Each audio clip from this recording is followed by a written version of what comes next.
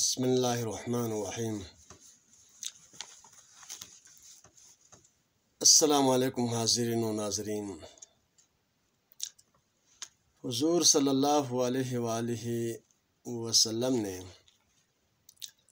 حضرت علی کی شان میں بے شمار احادیث بیان فرمایا ہے۔ چنانچہ اس زمین میں امیر کبیر سید علی حمدانی رحمۃ اللہ علیہ نے بہت سارے احادیث اپنی کتابوں اور رسائل میں نقل کیے خاص طور پر ایک کتاب شاہ حمدان نے تصنیف کی ہے، اس کا نام ہے السبعین فی فضائل علی ابن ابی طالب۔ اس کتاب میں ستر احادیث مبارکہ موجود ہیں اور اس میں سے اکثر احادیث حضرت علی کی شان میں ہیں اور چند احادیث اہل بیت علیہم السلام کے شان میں بیان کیا گیا ہے۔ تو ان میں سے تین احادیث جو کہ حضور صلی اللہ علیہ وسلم نے حضرت علی کی شان میں بیان فرمایا، ان میں سے سب سے پہلا جو حدیث ہے، حدیث نمبر ایک، وہ یہ ہے، ان انس بن مالک رضی اللہ تعالی عنہ قال قال رسول اللہ صلی اللہ علیہ وآلہ وسلم۔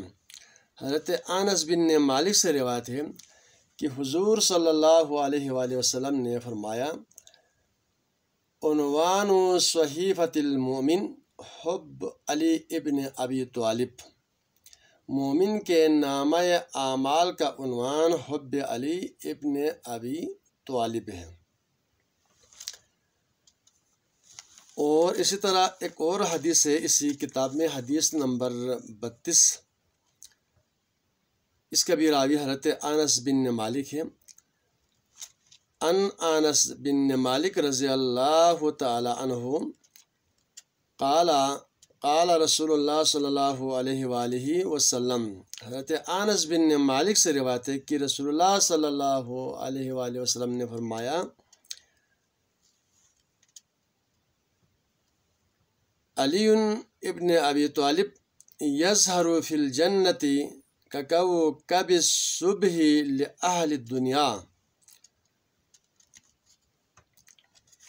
جنت میں علی علیہ السلام اس طرح چمک رہے ہوں گے جیسے کہ صبح کا ستارہ دنیا کے لیے چمکتا ہے۔ تیسرا حدیث مبارکہ ہے۔ یہ راوی ہے حضرت عائشہ رضی اللہ عنہا۔